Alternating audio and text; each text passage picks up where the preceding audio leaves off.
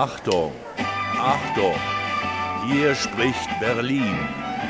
Mit diesen Worten startete 1923 die erste drahtlose Radioübertragung Deutschlands in Berlin unter dem Funkturm.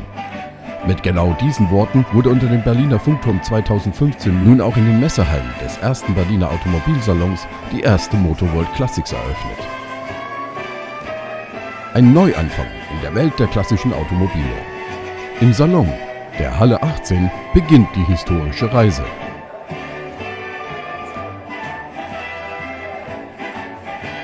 Alle Stände sind im Design des früheren Automobilsalons gehalten. An den Säulenbögen, wie man sie aus den historischen Bildern kennt, prangen die Namen der einzelnen Aussteller.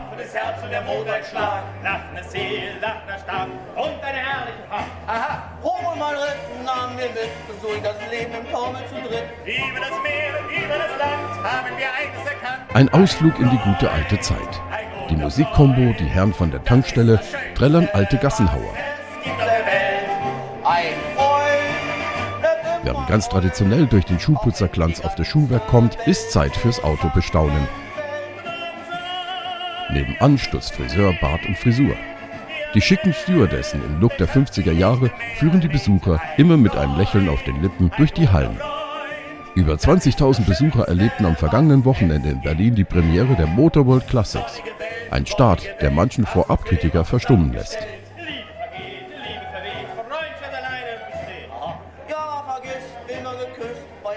Eine Hommage an Berlin und an den vor wenigen Tagen gefeierten 25. Jahrestag der Wiedervereinigung ist die Sonderschau Klassiker der großen Teilung in Halle 14. Die Fahrzeugpaare aus Ost und West aus vier Jahrzehnten, von 1950 bis 1990. Gezeigt wurden absolute Raritäten wie ein Volkswagen Eigenbau, der auf einem ehemaligen Kübelwagen basiert, ein eigenkonstruierter Alfa Romeo Rennwagen und viele Zeitzeugen der ostdeutschen Automobilgeschichte wozu auch Exemplare des Trabis, Wartburg und der elegante Melkus RS 1000 zählen. In derselben Halle zeigte Volker Schlegelmilch Werke aus 50 Jahren seiner Schaffenszeit als Formel-1-Fotograf. Der Stand der Motorworld hatte neben Raritäten wie einem Maserati 3000 auch einen PS-starken Rolls-Royce Rennwagen mit Rolls-Royce Flugzeugmotor und den ehemaligen Volkswagen Käfer von Paul Newman. Dazu gab es Informationen zu den neuen, entstehenden Motorworld-Stützpunkten. Besonderes Interesse fand die Berliner Motorworld Manufaktur.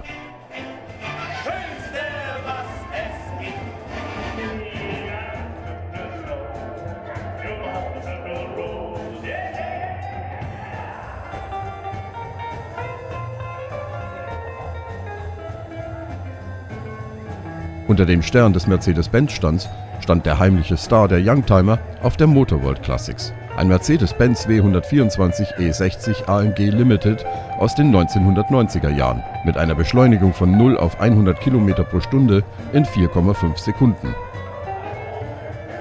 Das Wochenendwetter überraschte mit Sonnenstrahlen und der Sommergarten verwandelte sich im Handumdrehen zu einer Hauptattraktion der Motorworld Classics.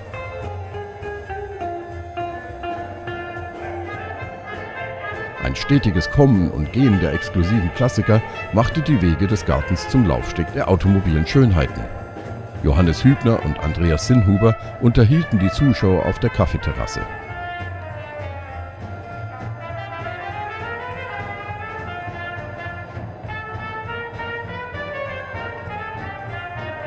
Vor der Skulptur eines Trabants aus Sandstein feierte Radio 1 sein zehnjähriges Bestehen und übertrug ihre Jubiläumssendung direkt von der Motorworld Classics. Die Motorworld Classics überreichte zu diesem Anlass eine Torte, die standesgemäß durch Ulf Schulz auf einer klassischen FN seines Großvaters vorgefahren wurde. Die nächste Motorworld Classics ist für 2016 angesetzt.